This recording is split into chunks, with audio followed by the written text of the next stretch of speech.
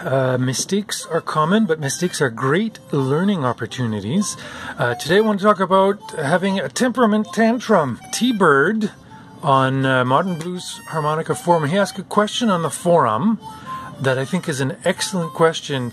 Uh, he's saying uh, he has some tuning issues, not sure what the problem is, but he's afraid that by messing up the proper tuning offsets, he's going to screw up the temperament. Never mind about the temperament. Uh, basically, your harp's out of tune. Uh, fix it. Uh, most people don't realize what their preference is in terms of temperament. Do they prefer their harmonicas to be tuned more for chords, or do they prefer their harmonicas to be tuned for uh, single notes, or a mix of both? Um, most players could, could use a harp that's set for any one of those three and not care either way. An out of tune harmonica is actually the perfect opportunity to figure out what your preference is. So, first thing we're going to address is one, don't worry about tuning temperament. Number two, we're going to try to fix the tuning. And this is going to be a hunt and peck, uh, kind of fix the biggest problem type of situation. So, better is the enemy of good. Okay, so we're going to make it good and we're not going to try to get it any better. Pick the worst or the two worst reed plates on the reed plate and fix them and then move on. Okay, it's not going to be perfect, but it's going to be good. It's going to be it's going to be better than what it what you're you're playing now, and it's going to be better than probably than most of your harps. So let's break the tuning down. One, two, three, four, five, six, seven, eight, nine, ten. We're going to start with the blow plate, and there's three octaves. This harp's about a million years old, and I, I knew it was out of tune. Let's uh, play the chords on the four, five, six.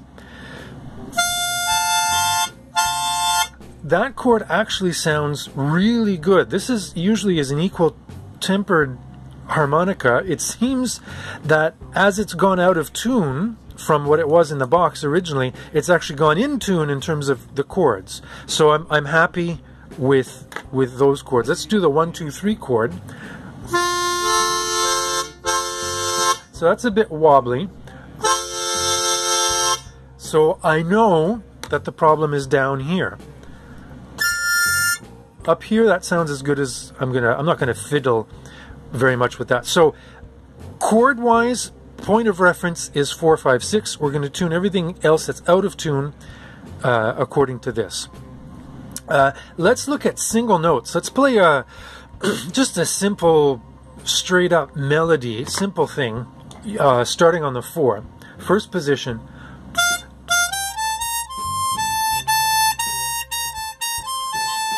So, without any accompaniment, mint without any band backing me up or just playing chords on a keyboard to, to, to accompany, it doesn't sound out of tune. I know that these notes are not equal temperament anymore, so the five blow is probably flat, it's probably gone flat, but when I play that melody, it doesn't stick out to my ears as being flat. So so we're good. Let's play it on the on the lower octave.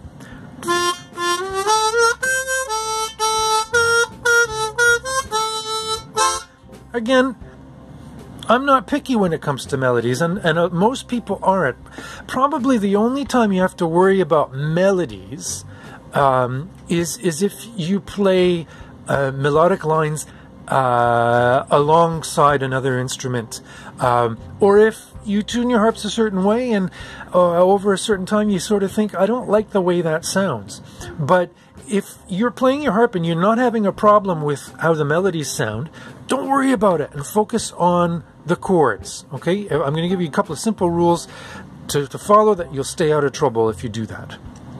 So we've determined that in terms of my preference, we know the lower octave is out of tune, uh, and that single notes don't bug me on either of these two octaves, but chords do.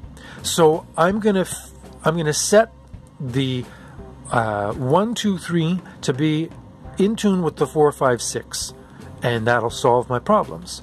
So we know this chord is good, so let's make this one just as good as that one. In other words, start with the tonic one and uh, four. that's the four, that's the one, played together. That's pretty good. It's, it's probably a little bit out of tune. But as I raise my breath force, it, it comes in tune.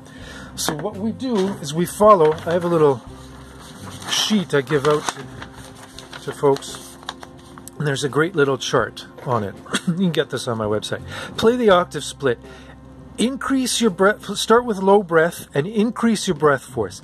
Does the beating disappear as you increase your breath force? Here, yes, it did.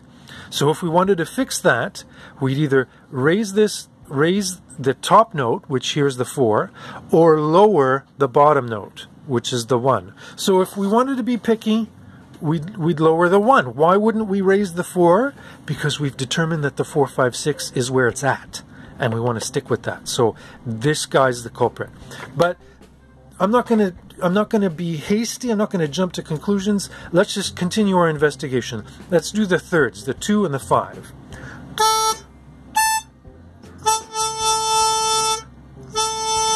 That's all right. I can live with that. Let's do the fifths, the three and the six. That's awful. Let me play it with light breath and increase my breath force and see what happens.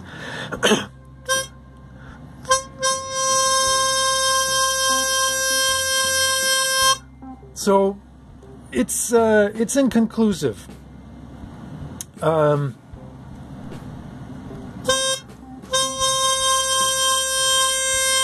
right, maybe the it does go away uh, as I increase my breath force. Sometimes, if the notes are so far apart, uh, this phenomenon doesn't work. So what we have to do is get a tuner and and look at each note on the tuner. But here, let's play it again.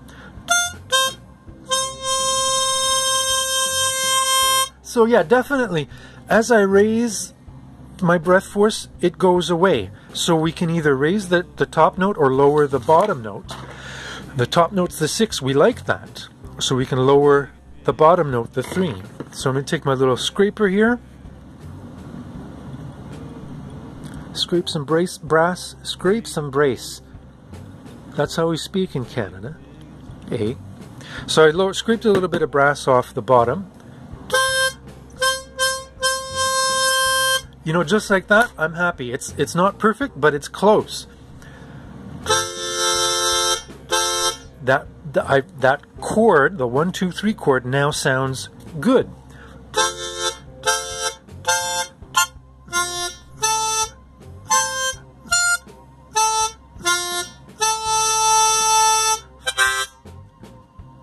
maybe the uh, the thirds are also a bit flat. Let me just bang out a bit of humidity. You see if it's condensation that's causing the problem. That's close enough. Uh, we're going for good. We're not going for perfect. So uh, better is the enemy of good. I'm going to leave it like it is. I've fixed the tuning. I've identified where my priorities are, and I fixed the problem uh, in a way that didn't screw everything up. Had I fixed this octave by tuning this note, I would have taken this chord out of tune. See? So by identifying what my priority was, I was able to zero in and fix the correct thing with, one smooth motion. So I'm happy with that. Now the draw, the, the, the blow plate, it's easy. There's only three notes, right? The draw plate, you have the two, three, four. That's your chord.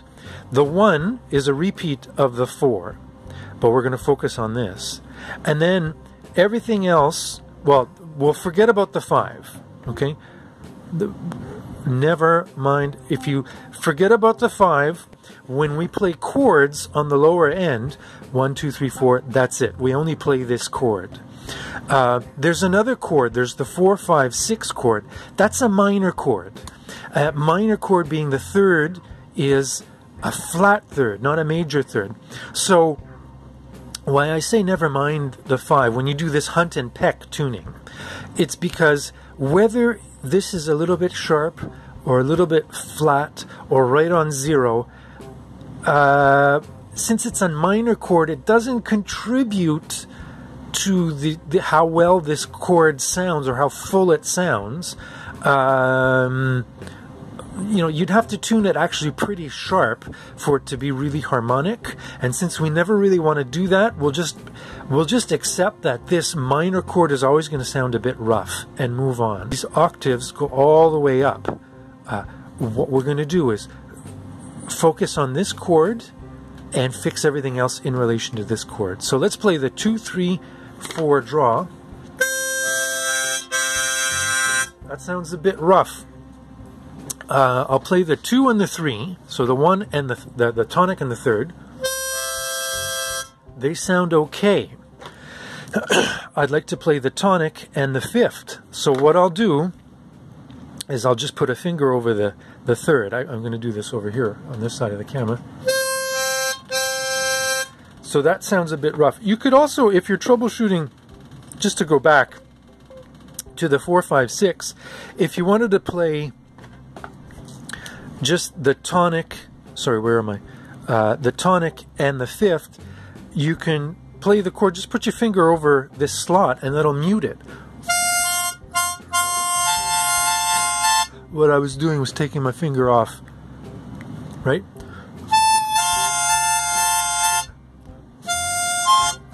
So I get that octave.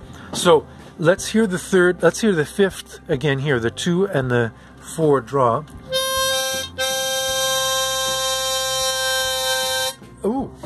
So I've increased my breath force and it seemed like the beating was going away, but I really had to to draw hard on that. So I'm going to double check with the tuner just to see if I'm in the ballpark.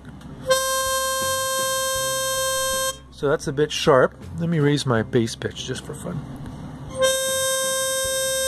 Okay. So that note is flat. Let's raise it. When your fifths are flat relative to your tonic, your chord will sound bad. And that's what was going on there. You can use a, a file, you can use a scraper, you can use uh, a rotary tool to take brass off.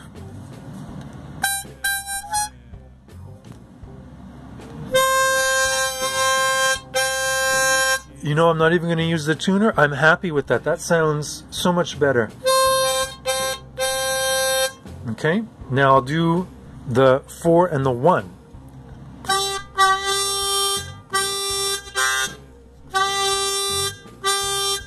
That sounds pretty good.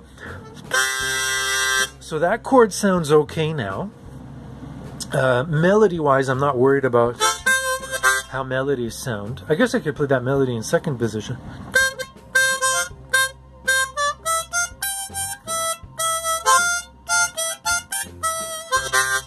Yeah, um, melodies. Uh, it's you know you can be you need to be pretty far off equal temperament for melodies to sound bad. So if they don't sound bad to your ears, don't worry about them. Seven. That's in tune. 4 8. That's.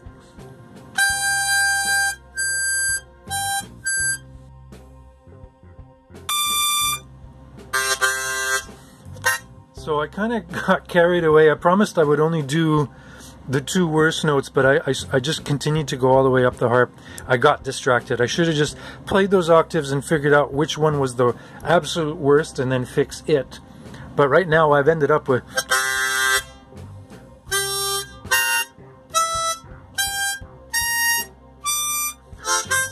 So that's pretty good. Um, not bad for a few minutes work. Uh, temperament is meant to suit you, so don't get stressed about it. Don't worry about what you're going to turn your harp into. You're turning your harp into something that you like.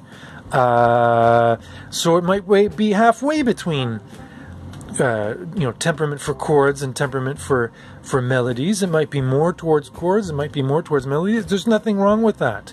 There's nothing that says that a particular brand of harp has to be tuned a certain way. These are your harps. You're working on them.